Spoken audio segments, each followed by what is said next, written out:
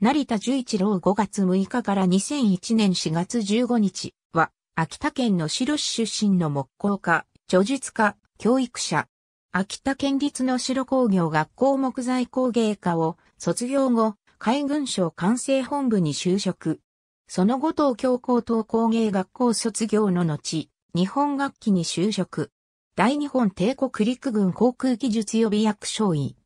軍隊からの復員を果たした後、故郷へ戻り1953年3月まで、秋田県立の白工業高等学校木材、工芸科教師を務める。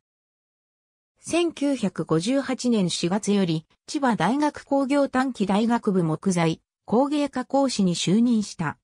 その後1978年に、千葉大学建築工学科講師を経て、1985年2月14日、工学博士を取得し、教授に昇格。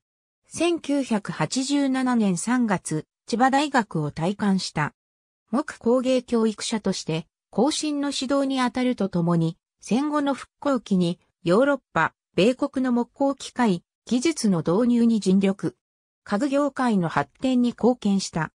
1978年より古代木工技法の研究に取り組み、日本古代の木材加工技法と工具の実験的研究で、東京大学生産技術研究所、村松定次郎教授より工学博士の学域を受けた。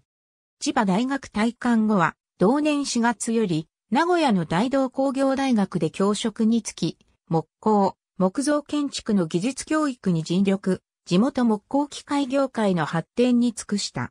日本輸出家具工業協組の顧問として、欧州の木工事情を視察する。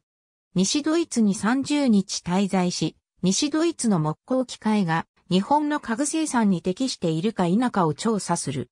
ノースカロライナ州で行われた全米木工機械店の見学と全米各地の家具事情の視察に専門家として派遣された。ありがとうございます。